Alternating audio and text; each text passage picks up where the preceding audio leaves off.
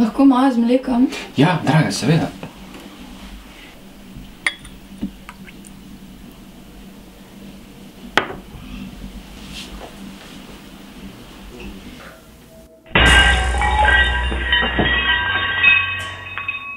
Kva si to naredil, da se moram pa preobleči? Ja, oh. Oprosti,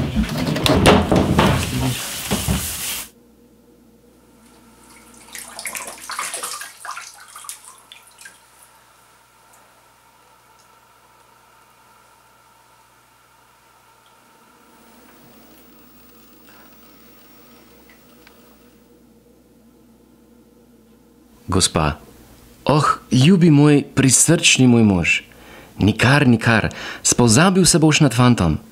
Nikar ne verjemi, ni tako, kakor misliš. Če boš tudi kaj napačnega videl. Kako ste ga dober?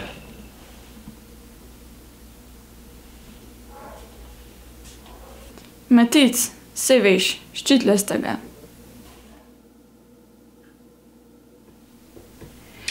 Ej, mi že tako dolgo časa niso šli na kamer. Ka- Kaj če bi šla jutri na en sprehod? Ne moram jutri, sej veš. Ni pravke. Kaj pa če bi šla v eno restauracijo, ki te je tako všeč? Um, veš, malo pa tukaj mi sade, bilo čist prezveze.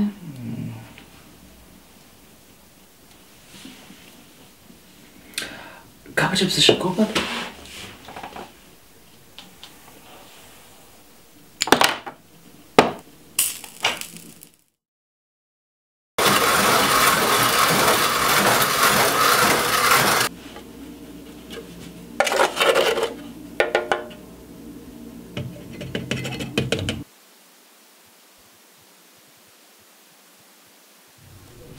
你说。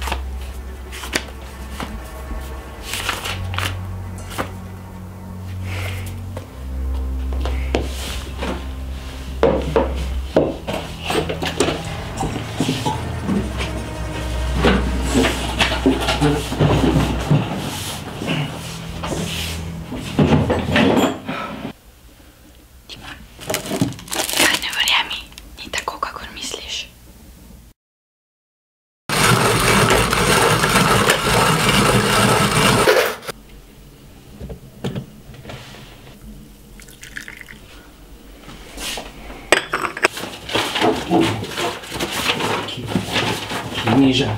Книжа. 예. 예. 예. 예.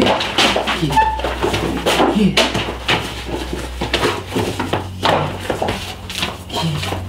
예. 김내장